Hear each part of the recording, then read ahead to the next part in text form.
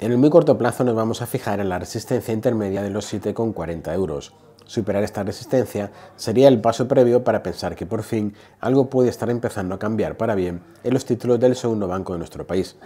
ya que por encima de esta resistencia tendríamos una potencial figura de vuelta al doble suelo, antesala de un movimiento en busca de la importante resistencia que presentan los 7,80 euros, la parte superior del amplio movimiento lateral. Por abajo, por lado de los soportes, la clave la encontramos en los 7 euros, este soporte deberá ser respetado sí o sí en todo momento si no queremos asistir a un claro deterioro en el gráfico. Mientras tanto, y en el peor de los casos, el título se está desplazando horizontalmente.